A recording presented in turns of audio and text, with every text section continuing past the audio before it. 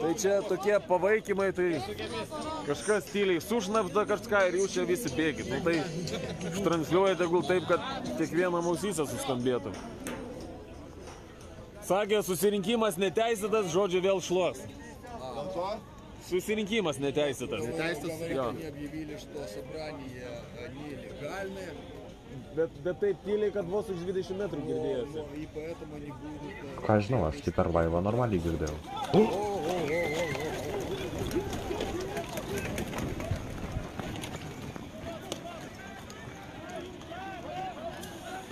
O, pizdės, achujelį.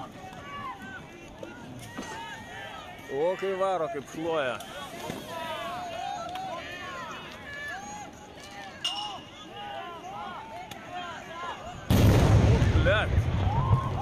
What the fuck? o,